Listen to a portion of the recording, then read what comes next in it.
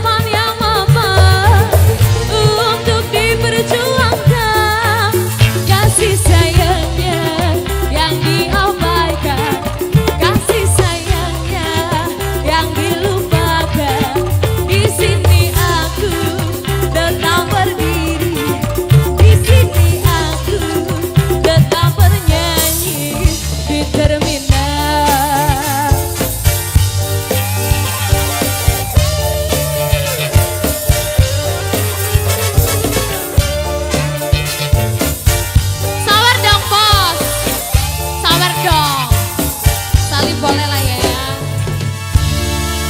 Dua teman sekaligus dari saya.